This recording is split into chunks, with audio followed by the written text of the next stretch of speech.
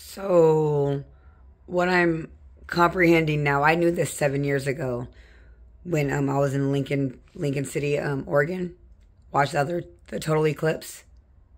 Seven years later, we're having another total eclipse. I knew about this eclipse, but I didn't pay attention to it this last couple days because I just didn't care.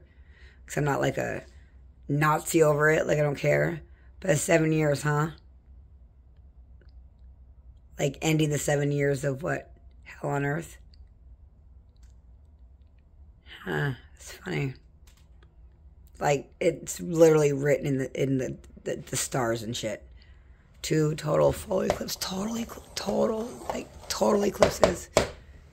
Um, this is exciting. This is exciting for me, just not comprehending this. Everybody else has already probably thought about that, but this is fucking cool.